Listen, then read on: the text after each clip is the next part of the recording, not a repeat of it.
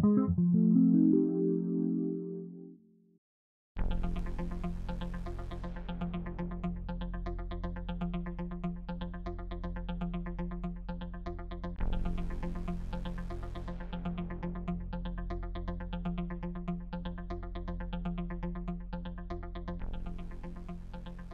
is the harmonic series like a spiral?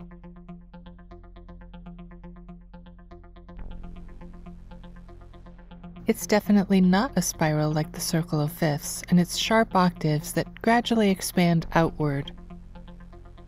In fact, the harmonic series is not a spiral in shape at all, because the harmonic series is really the number series, a straight line of numbers stretching out to infinity. So how is the harmonic series like a spiral? To see this, we have to understand how the series works and how it breaks down into three parts. There are three distinct sections in the harmonic series. The first part is the construction of its structural beams from which to build the chromatic musical scale. This takes place in harmonics 1 through 15. The second part is the generation of the chromatic musical scale. This happens in harmonics 16 through 32. And the third part starts in harmonic 33 and continues to infinity. It involves the subdivision of the chromatic scale intervals down into smaller and smaller subintervals. So let's look at each section more in depth. The first section of the harmonic series seems to be forming a structural base for the chromatic scale that's to come later in the second part. We'll put up a hint of that scale for reference. Harmonics 1 through 15 seem to be forming struts from which to later build this scale, and it does this by filling each interval with a mese. If you're unfamiliar with the important concept of the mese, please check the video explaining it that's linked in the description. So if we look at the boundary, a rather large interval between harmonics 1 and 16, we see that it encompasses the first four octaves of the series. Those octaves are based off the tonic of C at harmonic 1. Within this first section, we won't see any even-numbered harmonics generating a structural beam, because those are just octave repeats. Only the odd numbered harmonics will generate these struts. If this is unclear, make sure to watch the video on how notes are generated as odd numbers in the harmonic series. There's a link to that in the description. The first largest and most stable structural beam to generate is harmonic 3. This is the mese of any octave of C, and harmonic 3 will mature into the octave value of 24 in the eventual scale, the G note and perfect fifth off the tonic of C. We now have two intervals between harmonics 1 and 16, and the next two beams divide them each in half.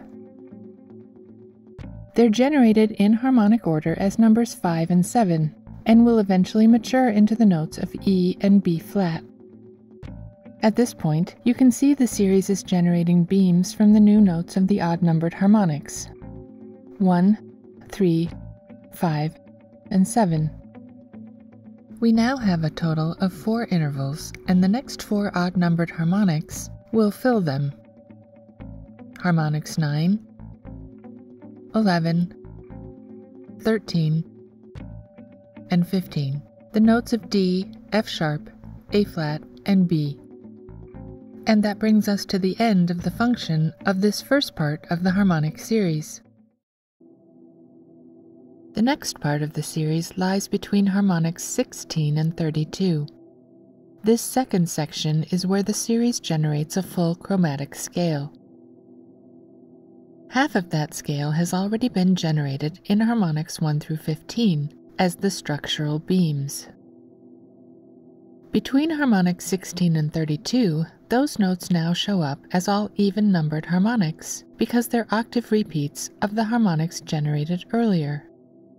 And starting in harmonic 17, the series will generate another set of odd numbered harmonics to fill in and complete this chromatic scale, which brings us to the end of the second part of the harmonic series.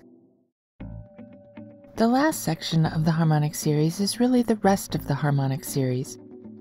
It begins in harmonic 33 and extends out to infinity. Every note in the scale already generated will continue to double through its octaves forever as a set of even numbers.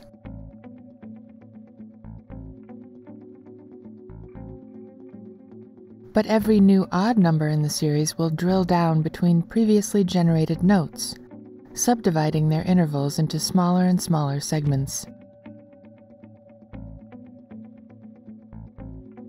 So while the existing notes grow and expand outward, forever doubling, the new notes compress their intervals, forever subdividing them.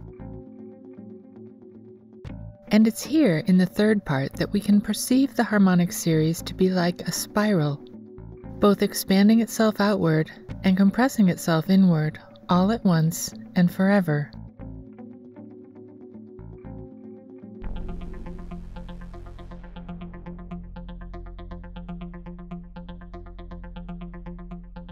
I'm grateful for any feedback.